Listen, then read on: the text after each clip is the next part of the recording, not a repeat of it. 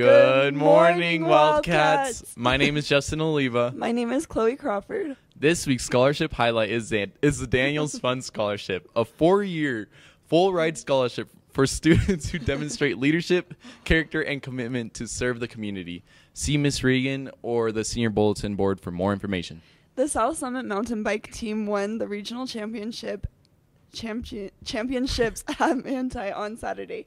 James Evans, Allison Henyus, Rosie Anderson, Caitlin Scott, Jace Raber, Nixon Gordon, Ada Georgie, and Jurgen Cox lead the scoring for the Wildcats. Caitlin and Nixon won their divisions and were joined on the podium by Allison and Malachi Murrell.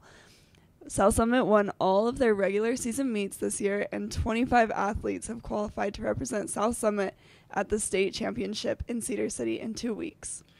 This Friday is a varsity football game at 7 p.m. versus Providence Hall. It is the it is first responder night, so wear red, white, and blue to represent. It is also senior night, so come to support our seniors. Also, next Tuesday, October 17th at 6:30 is our girls volleyball game. The theme is pick out, pink out in support of breast cancer awareness. Come out and support our volleyball girls. Fall break is next week, Thursday, October 19th through the 22nd. As always, Wildcats, Have, a, great day.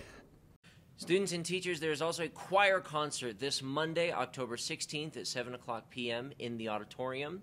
And on Wednesday, there will also be a combined band concert from the middle school and the high school on Wednesday, October 19th, also at 7 o'clock p.m. in the auditorium. We'll hope to see you there. Hey South Summit, there's going to be an annular solar eclipse this Saturday, October 14th. Um, on the 14th at 9.15 a.m., you should come to the football field to start seeing the eclipse. Uh, this is the last time you will be able to see an annular solar eclipse in the U.S. for 23 years. Get down here.